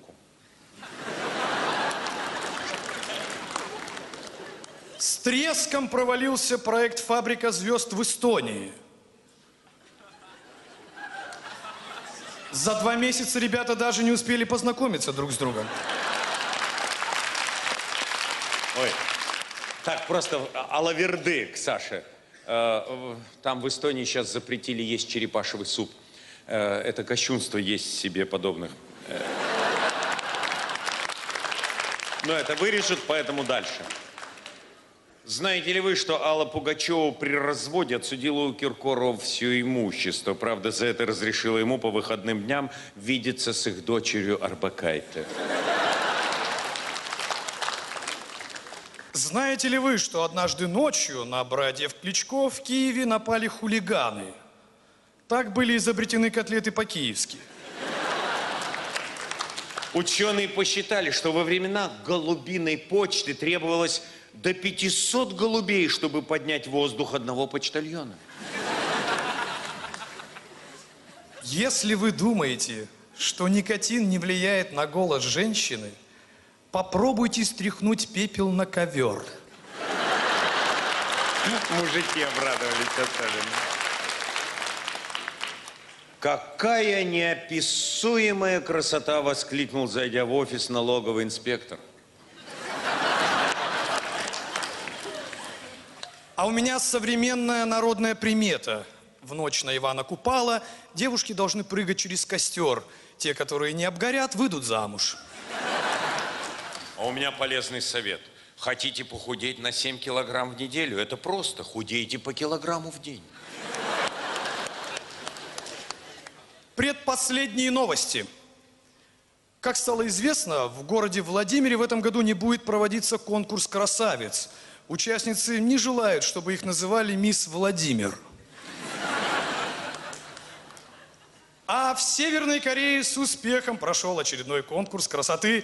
И первой красавицей вновь единогласно был признан Ким Чен Ир.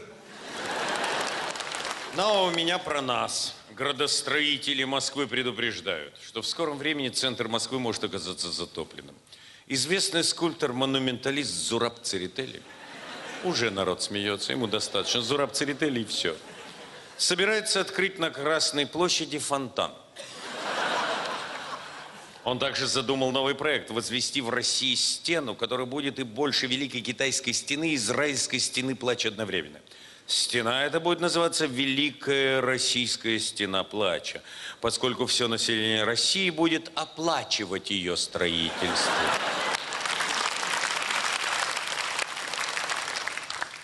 Недавно у Михаила Сергеевича Горбачева спросили, есть ли ему за что извиниться в этой жизни. Михаил Сергеевич ответил, да, конечно, как-то давно я ехал на трамвае и не расплатился за проезд. Поэтому сейчас прошу прощения у кондуктора. Возник вопрос, и все? А как же в период с 83 по 91 годы? На что Михаил Сергеевич уверенно ответил, что тут ему извиняться не за что, потому что в эти годы он на трамвае не ездил. С успехом отметили в Москве День печати. Эдуард Лимонов представил свою газету «Лимонка», Жириновский многотиражку «Жиринка». Впервые увидели э, читатели юмористический журнал для милиции «Веселые дубинки». Завершила выставку массовая газета для начинающих наркоманов «Клейбой». В газеты вклеены пробники.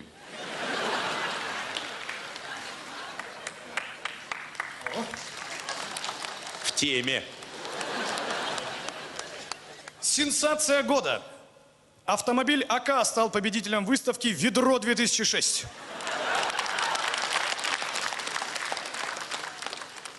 Продолжаем новости. Свидетели Еговы стали свидетелями ДТП. Теперь ребятам предстоит непростой выбор.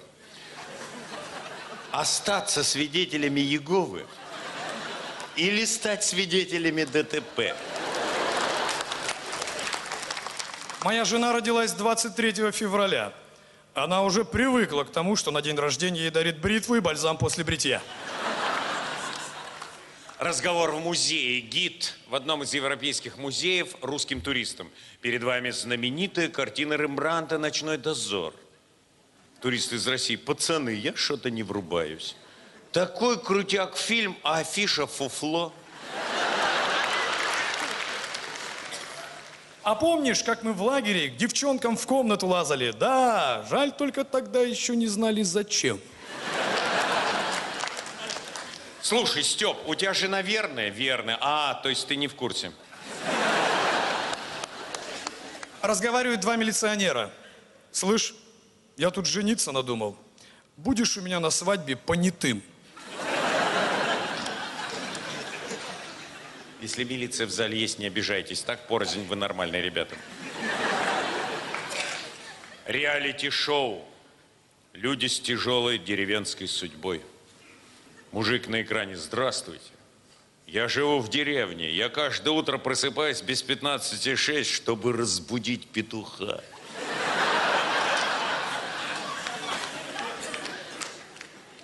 Таможенник пассажиру в аэропорту.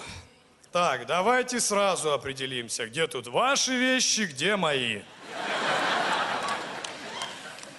Мужики, я на Новый год купил детишкам детское шампанское. Так они так напились, что на утро пришлось бежать за детским пивом.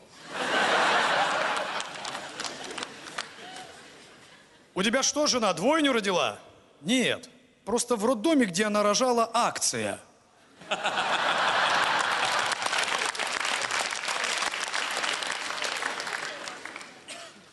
Да, можно не договаривать. Пацаны, у моей жены все хорошо. Только один недостаток. Какой? Талия, грудь и бедра. А почему один? Понимаете, они в таком порядке и расположены.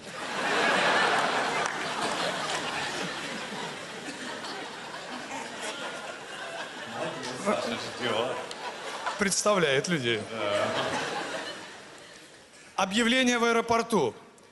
Гражданка, вылетающая в Казы-Мурды. Гражданка, вылетающая в Казы-Мурды. Одумайтесь. Название-то выкопал, козы мурды. Сынок, сынок, мама сказала, что 1 января ты плохо себя вел. Да, папа, потому что я вел тебя и еще дядю Колю.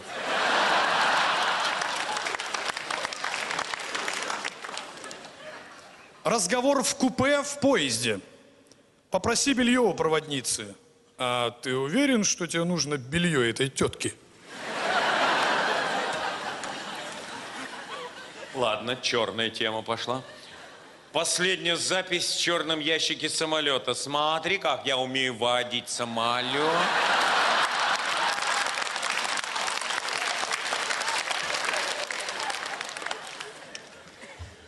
Рекламная пауза. Пиво Балтика, там, где Россия. Водка Балтика. Россия, ты где? Ну, после рекламной паузы надо менять тему. Такие новорусские сказочки. Ой, Винни, Винни, смотри, зебра. Это не зебра, это ослик мирирования сделал. Долго возился Иван-царевич с лягушкой, пока не увидел записку. Улыбнитесь, вас снимают скрытой камерой. Спросили буржуины у мальчишек и мальчиша, почему в Красной Армии даже после третьей не закусывают. И ответил и мальчишки-бальчиш, это великая военная тайна. И больше я вам ничего не скажу, пока не нальете. Не пей, Иванушка, из копытца, козленочком станешь. Выпей лучше фанты, станешь бамбучей. Медведи увидели, что постель медвежонка измята и поняли, здесь была Маша.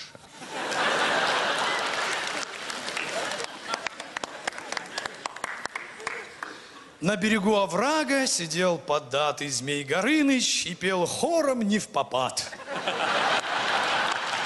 Картинка классная. У меня тоже картинка. Хлопай ресницами и взлетай, напевали хулиганы, откручивая от Карлсона моторчик.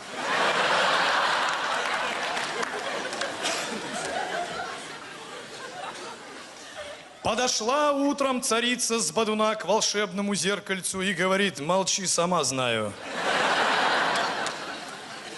Шахерезада уже тысяча первую ночь рассказывал царю сказки. То у нее голова болит, то живот.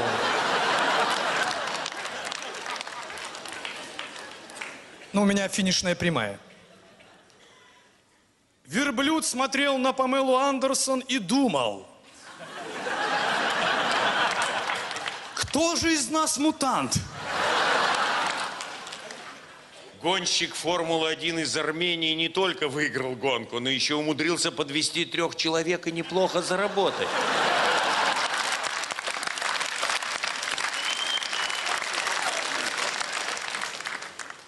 Журнал «Космополитен» решил создать портрет идеальной женщины.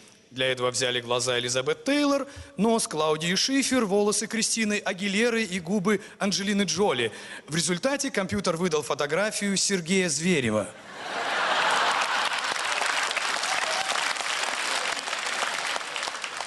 А у меня, естественно, алаверды. По-моему, придумался настоящий анекдот. Встретились два мужика, один другому говорит, ты любишь анекдоты про блондинок, да? Ну, слушай. Встретились две блондинки, Дана Борисова и Зверев.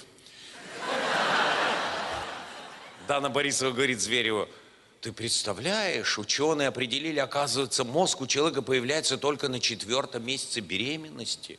А Зверев говорит, это что ж, у меня мозги не появятся, пока я не забеременею? Александр Мадич.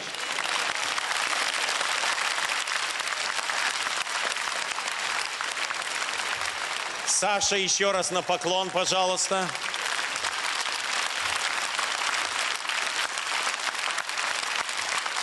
Благодарим тебя за наши новогодние улыбки. Я часто езжу из Риги в Москву на поезде. Таможни ходят рано утром, чтобы люди не понимали, что отвечать на вопросы с просони. в вагоне э, по соседству со мной в соседнем купе едут такие пацаны, такие напились, они действительно не понимают, где они находятся. Утром в 4 утра заходит таможник и прямо с порога орет, оружие, наркотики есть? Из соседнего купе голос, пора иметь свои.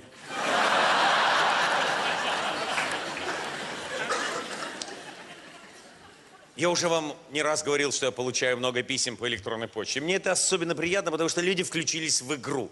Они делятся своими наблюдениями для чего? Чтобы я поделился с вами, зрителями, телезрителями, тем, что они видели в жизни. Мне порой кажется, что мы юмором выдавливаем из себя дурошлепство. Правда, кое-что меня настораживает. Наверное, у меня голова больная немножко. Но мне мне как-то не по себе, когда я читаю электронные вот, это, вот эти письма, э, имейлы, посланные по электронной почте. Они, как правило, без знаков препинания, и в конце написано «С уважением, пока».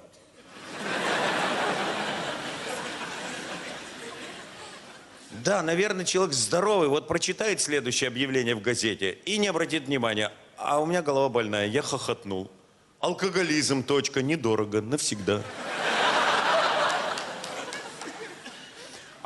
А Вообще я люблю читать газеты, объявления, только внимательно читать. Там часто ставятся, э, б- там часто допускаются ошибки.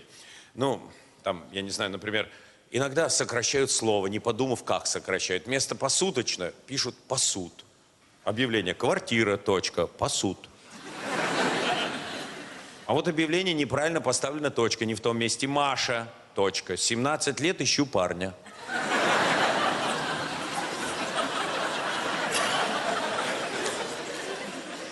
А вот это объявление страшное. Ой, такая трясогузка у меня началась. Срочно ищу работу. Подпись «Няня педобраз». Я понимаю, что педобраз – это педагогическое образование. Но даю честное слово, я бы не хотел, чтобы у меня няней был педобраз в новом году. В церкви прочитал, требуются желательно верующие на свечки.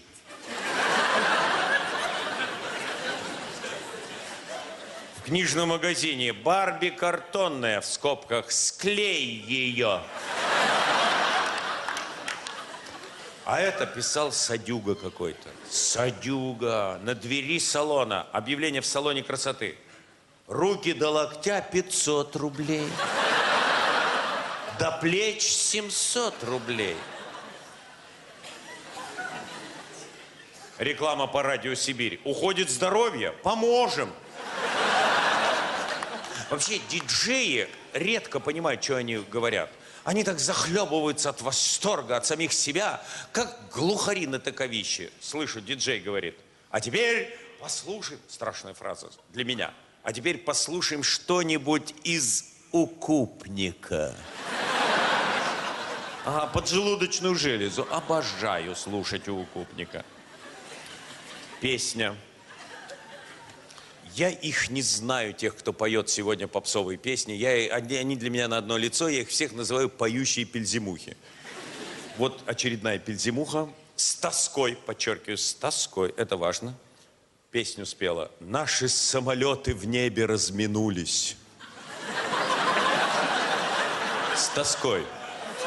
Конечно. А вот если бы не разминулись, то как-то веселее было бы на свете жить, бесспорно.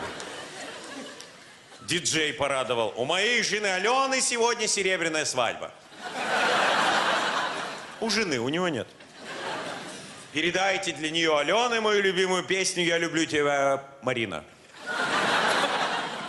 Я путешествовал по Дальнему Востоку, такие дебри Уссурийского края. Автобусная остановка, на автобусной остановке объявление. Автобус на вокзал отходит примерно после обеда.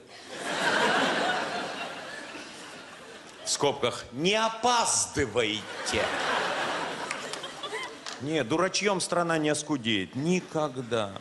В Хабаровске порадовала девушка, официантка. Их же научили теперь по-западному обслуживать. То есть они должны задавать вопросы. Вам кофе с молоком или черный? Я говорю, черный. Она говорит, у нас в, пакетик- в пакетиках сразу с молоком. Ты чего спрашивала тогда? Можно тебе задать? В Москве реклама часто встречалась, еще недавно. Всем купившим у нас квартиру более 300 метров бейсболку в подарок. А мне две бейсболки надо. Перетяжка над Дмитровским шоссе. Лада по цене завода.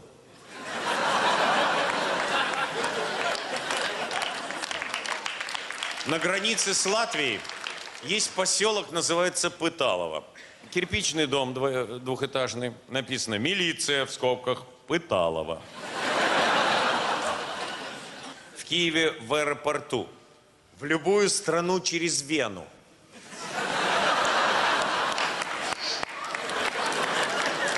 В общем-то, дешевый способ побывать в других городах. В аэропортах много интересного можно услышать. По громкой связи в Домодедово. Вот этот женский голос, откуда такие голоса берутся? Ну, неужели такими мерзкими голосами эти женщины разговаривают в жизни, признаются в любви? Слышу. Пассажиры, вылетающие рейсом в Краснодар, сегодня никуда не вылетят.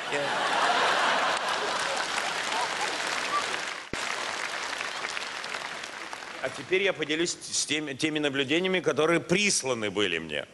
Вот из Киева прислали. Вырезку из газеты, объявление. Нашей организации срочно требуется на работу мужчины-700 гривен, женщины-600 гривен, остальные 500 гривен. Кто это такие остальные? Новосибирск, учительская, в учительской. Детей в школе разрешается бить только в порядке самозащиты. В Ялте детскому летнему лагерю требуется вожатый с опытом лагерной работы. Спокойно, спокойно, спокойно. Мы там будем разгоняться, там, там смешное будет. В Сочи, в тире, каждый попавший в цель получает пулю. Слушайте, ну сколько вот дурачья, да, в, в- в отчизне в нашей талантливой. Перед Новым годом в московском магазине петард нет, точка, совсем нет. Покупатели достали вот так уже. Нет? Совсем нет? Как это может быть? Вот это тоже, это не переведешь иностранцу. Что значит петард нет совсем? В Тольятти, в музыкальном отделе крупного магазина. Баянов нет. Точка. Где есть, не знаем. Тоже Достоевский, да? В скобках. Да, часто спрашивают. Просто с выражением это читать хочется. А еще мне прислали книжку, называется «Полезные советы российских целителей». Российских, подчеркиваю. Это важно. Читаю полезный совет. Если вас укусил тарантул, ну это просто... Вот мне, российскому человеку, просто необходимо знать, что делать надо, если укусил тарантул. Готовы? Надо смазать место укуса специальной настойкой. Для ее приготовления надо поймать трех тарантулов. Тарантул, подожди кусать. Сейчас я поймаю трех твоих сородичей, потом укусишь. Сочи, на набережной. Такой полуларек, полу, полукиоск. Там э, вам выдают футболки, кружки с напечатанными вашими фотографиями. Слоган «Сделай подарок, тире, закажи своего друга, шефа, жену». В интернете есть очень забавный сайт. Там продают открыто дипломы, аттестаты, удостоверения, любые. Внизу крупно написано «Опасайтесь аферистов и мошенников». А это я видел сам. В аптеке в Новосибирске. Кто купит две линзы для глаз, третья... Нормально, да? Бесплатно третья. Конечно, у меня же циклопчик дома. Вот это вот как же. Студенческой столовой МГСУ. Вот это только нашим студентам может понадобиться следующее предупреждение. Просьба за приобретенными блинчиками следить самим. Только нашему придет на ум стыбзить блинчик. Объявление на двери бани подмосковного дома отдыха. Баня работает ежедневно, кроме выходных. Понедельника, среды, четверге, четверга и пятницы. Конечно, это ежедневно. Учительница одна написала. Такая, ну, доброго советского воспитания советской школы учительница.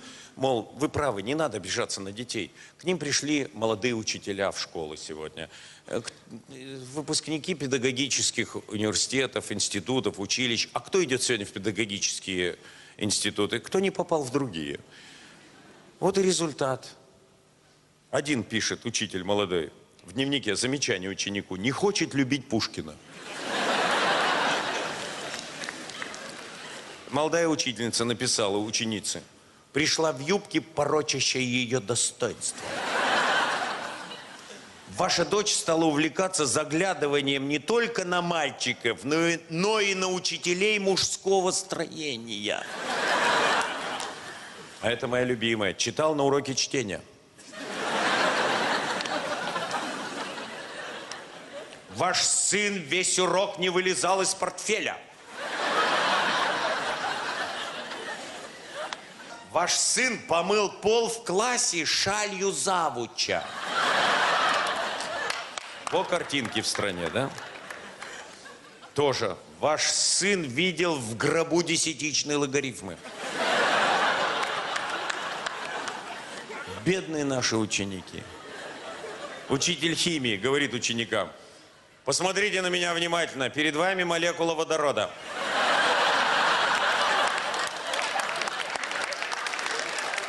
А мой знакомый работает в банковской сфере, в банке работает.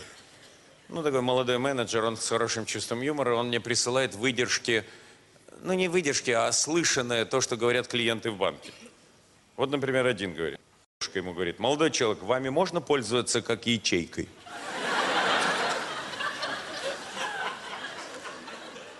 Другая, молодой человек, а что вам нужно показать, чтобы мне дали кредит? Нет, ну женщины вообще не всегда понимают. А, Короче, они почти никогда не понимают, что. Особенно в парикмахерских. Боже, что они говорят? В Харькове в парикмахерской пришла такая бизнес-леди, говорит, а ее, ее мастер спрашивает, как вас подстричь? Чтобы я на вас не серчала. А, а- а еще я слышал разговор в салоне красоты. Я хочу, чтобы вы подняли мне весь зад. Жуткая картинка. Мастер спрашивает у женщин, как вас подстричь? Она говорит, это тоже в Киеве уже, чтобы не было выделений. Ну и в каком смысле? Чтобы уши не выделялись. Возвращаемся к банковской теме. Вам звонит ваш неплательщик Петров. Скажите, я сильно злостный? Диалог с клиентом. Кредит оформлен на вас? Нет, на холодильник.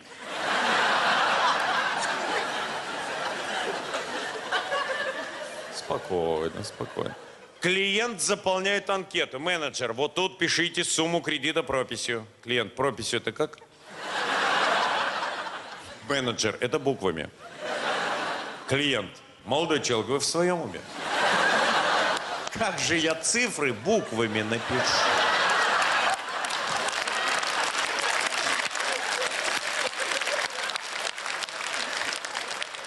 А что говорят наши спортивные обозреватели? Наверняка мужчины замечали. Женщины не очень смотрят спортивные состязания, а многие спортивные комментаторы пришли прямо из спорта на телевидение, поэтому они не совсем понимают, как связать падежи.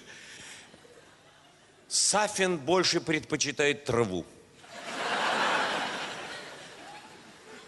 Наши футболисты почти все вышли из зоны. Нужно плыть, стиснув зубы в кулак. Жуткая картинка. Как представили, как зубы в кулак стиснут. Ай-яй-яй-яй-яй, вы со мной согласны? Можно передохнуть, эстонские футболисты пошли в атаку. Знакомые, с которыми я заканчивал Московский авиационный институт, я пришел к ним, они не зажиточные, у них эти дешевые календари отрывные еще висят на стенках. Ну, я подошел к одному из них, повеял от этого отрывного календаря таким добрым нашим советским прошлым. А там ведь полезные советы всегда печатались. Думаю, дай почитаю. Не зря я стал читать. С первого же полезного совета прочитанного такое уныние, даже такая грусть охватила весь организм. Если у вас в холодильнике осталось одно яйцо, мне так грустно стало. Я, я представил так, холодильник открываю, а там одно яйцо. А тут написано, не унывайте. Ладно, думаю, не буду унывать. Возьмите глубокую мисочку. О, это, это меня уже заинтриговало. Яйцо одно, а мисочка глубокая. Тщательно взбейте в ней это яйцо. Да, то есть я представил себя, придурка, в глубокой мисочке, тщательно одно яйцо взбивать. Дальше, не верю своим глазам, положите туда две столовых ложки сметаны. Ага. Думаю, сметана у меня в кармане, видимо, потому что, потому что в холодильнике же яйцо. Одно. Если нет сметаны, две ложки манки. О, у меня еще и манка в карманах, судя по всему. И дальше, клянусь, не вру, не верю своим глазам. Берем и отрезаем от кабачка. Значит, у меня еще и под кроватью что-то есть, потому что... Потому что я же холодильник для яйца держу, а... И концовка. Спокойно, концовка. Если нет и кабачка, мелко нарезаем два средних клубня топинамбура. Ну, а топинамбур у меня всегда, я вам честно скажу, вот всегда, и в карманах, и под кроватью, везде. Но особое чувство юмора у тех, кто пишет инструкции. Ну, этот точно был с чувством юмора, кто написал инструкцию к дезодоранту. Два щелчка в одну подмышку. Теперь частые пробки в Москве, проехать трудно. Я опаздывал на деловое свидание. Была зима, я думаю, поеду на метро, но надо как-то успеть. Зашел в метро, я давно в метро не ездил. Думаю, надо же прочитать инструкции, как пользоваться метро. А там как раз правила пользования эскалатором. Думаю, вот вы ездили на эскалаторе, вы не знаете, как им пользоваться. Я вам читаю. Слушайте, запоминайте. Сначала внимательно посмотрите на эскалатор. Думаю, зачем? Убедитесь, что он перед вами. Вот я вам говорил, не знаете, как пользоваться. После чего совершите посадку на ближайшую ступень. Нормально? Я-то думал, ездить надо стоя на эскалаторе. Нет. Посадку. С последующим с нее соскоком. Вы пробовали соскакивать на копчике со ступеньки когда-нибудь? А это инструкция к использованию электрошокового прибора. Запрещается применять прибор в отношении беременных женщин. Это кому на ум придет? В скобках. За исключением их группового нападения. Это в бешеном сне похмельном не приснится такое, такая страшилка нападения беременных женщин. Спокойно, спокойно, друзья мои. Что-то вы, что-то вы как-то совсем по-новогоднему себя стали чувствовать. Представляете, все-таки мне везет. СМС-ка пришла мне. Ошиблись номером, случайно, но попали по адресу. СМС-ка. Это Олег Палыч, сын Сергея. Эта страна не может жить хорошо, которая такие смс отправляет. У меня вообще знакомая работает оператором в СМС-связи. И она иногда мне говорит, знаешь, мне даже не обязательно на твои концерты ходить. Мне достаточно читать СМСки. И она некоторые из них мне пересылает. Девушка, у меня сообщение для абонента теща. Ты старая вешалка. Сколько можно меня мучить? И дочь у тебя тоже дура. Вот и живи с ней сама. И, по, и подпись поставьте аноним.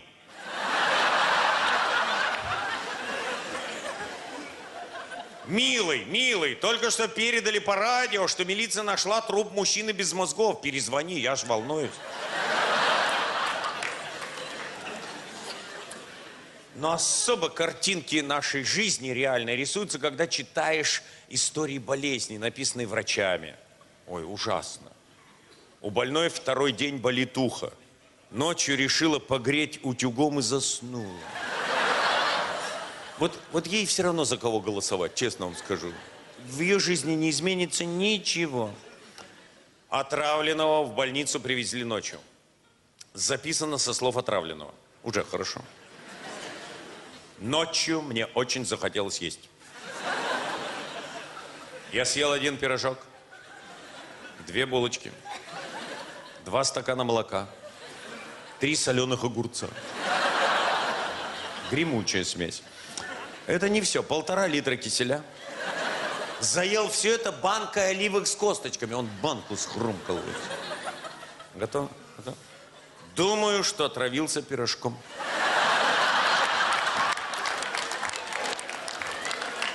И после этого люди на власть будут жаловаться. Да совершенно все равно, с какой властью ей жить. Больная 45 минут ковыряла пальцем в носу. Пока не началось кровотечение. То есть, то есть она бы еще ковыряла. Диагноз – слабая слизистая оболочка. Все, уже некоторые готовы. Все, рот открывается, звука нет, как я говорю, так, как у рыб в аквариуме. В морге объявление типографским шрифтом. В случае возгорания пожар тушится силами больных.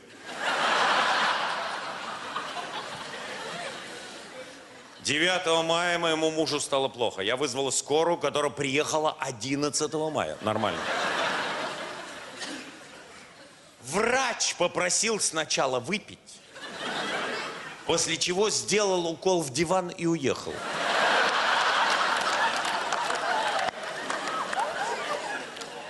Но это моя любимая запись медицинской карточки. Психических заболеваний нет. Просто дурак.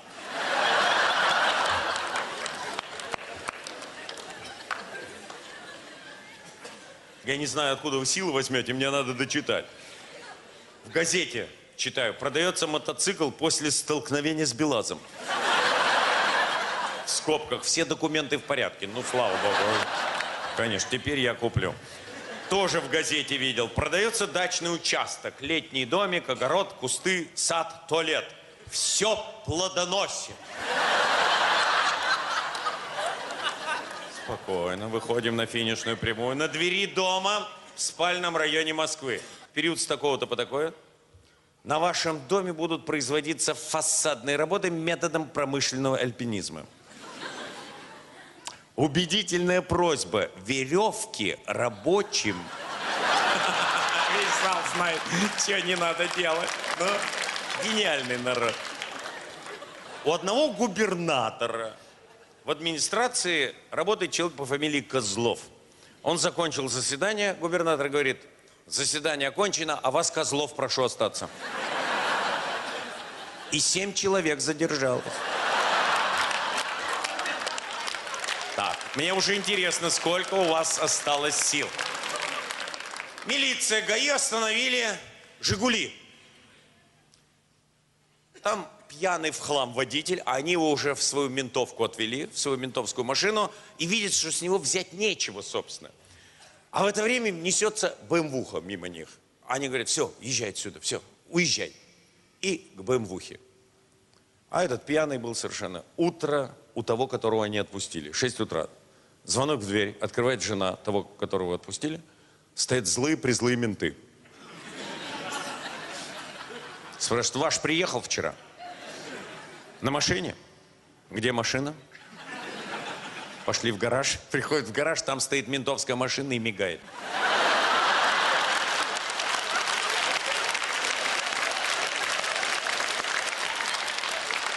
Вы думаете, вы не можете больше смеяться? Можете. Это сейчас, молодежь, у вас есть. Вообще у нас есть в стране пробирочки для каждого вида анализа своя пробирочка. У нас этого не было.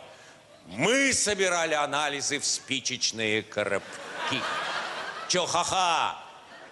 Коллега мой, инженер Московского авиационного института, собрал утром полный коробок. Вот. Думает, после работы занесу в поликлинику. Да. А он был курящий. Вот.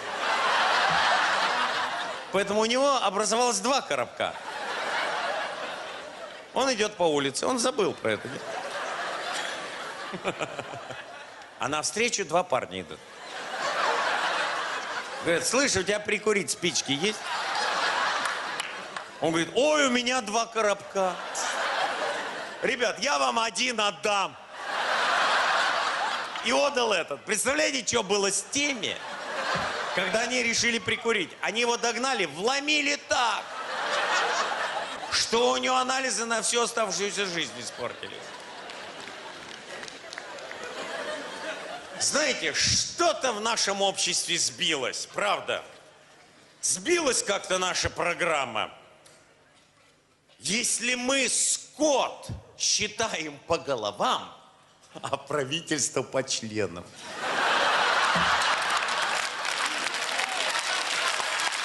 Вот после этой фразы говорит, с Новым годом!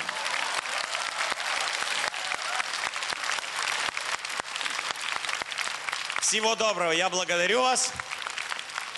Мы нормально встретим Новый год с улыбками и так его и проведем.